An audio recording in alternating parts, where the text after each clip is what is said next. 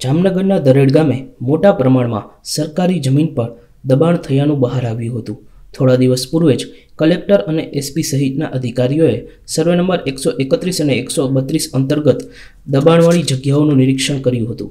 આ પછી એક ગૌશાળા સહિતની ઇમારતોના આસામીઓને દબાણ હટાવવા સાત દિવસનું અલ્ટિમેટમ આપવામાં આવ્યું હતું. દરમિયાન આ પ્રકરણ હાઈકોર્ટ સુધી પહોંચ્યું હતું. હાઈકોર્ટે દબાણ હટાવવાના આદેશ પર એકવીસ જાન્યુઆરી સુધી સ્ટે ઓર્ડર આપ્યો હતો. દરમિયાન આજે આ પ્રકરણમાં લેન્ડ ગ્રેબિન પ્રોહિબિશન એક્ટ હેઠળ ગુનો નોંધવામાં આવ્યો છે. પોલીસ દ્વારા કથિત દબાણ કરનારા સંખ્યાબંધ આસામીઓ વિરુદ્ધ નામજોગ ગુનો દાખલ કરવાની કાર્યવાહી થઈ છે. ઉલ્લેખનીય છે કે જામનગર જિલ્લામાં લેન્ડ ગ્રેબિન પ્રોહિબિશન એક્ટ હેઠળ નોંધાયેલો આ પ્રથમ ગુનો છે. પુણેની સિરમ ઇન્સ્ટિટ્યૂટે કોરોનાની વેક્સિન કોવિશિલ્ડ તૈયાર કરી છે. કોવિશિલ્ડનું પ્રોડક્શન પૂરજોશમાં ચાલી રહ્યું છે.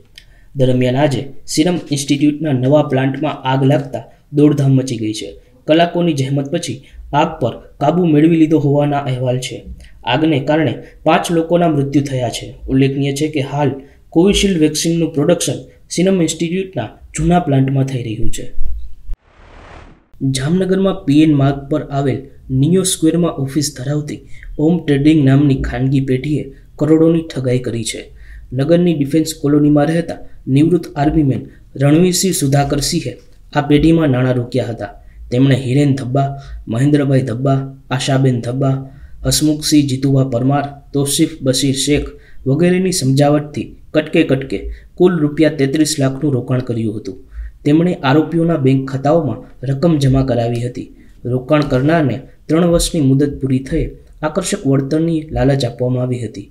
સ્કીમની મુદત પૂરી થયા પછી પણ પૈસા પરત ન મળતા પીડિત રણવીરસિંહે પોલીસ ફરિયાદ દાખલ કરી છે.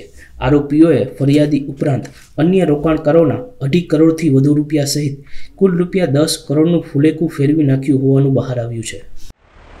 અયોધ્યામાં ભવ્ય રામ મંદિરના નિર્માણ માટે દેશભરમાંથી ફંડ એકત્ર કરવામાં આવી રહ્યું છે. જામનગરમાં પણ ધાર્મિક સંસ્થાઓ તથા સંતો દ્વારા રામ મંદિર નિર્માણમાં અગત્યનું યોગદાન અર્પણ કરવામાં આવ્યું છે. આણંદાબાવા સેવા સંસ્થા, ખીજડા મંદિર, શ્રી મોટી હવેલી તથા શ્રી બાલા હનુમાન મંદિર આ ચારેય સંસ્થા પૈકીની પ્રત્યેક સંસ્થાએ રૂપિયા પાંચ લાખ પંચાવન હજાર પાંચસો પંચાવનની રકમ રામ મંદિર નિર્માણ માટે અર્પણ કરી છે. ઉલ્લેખનીય છે કે પ્રસિદ્ધ કથાકાર રમેશભાઈ ઓઝા દ્વારા પણ રામ મંદિર માટે રૂપિયા એકાવન લાખના અનુદાનની ઘોષણા કરવામાં આવી છે. મુખ્યમંત્રી વિજયભાઈ રૂપાણીએ પણ રૂપિયા પાંચ લાખનો ચેક અર્પણ કર્યો છે.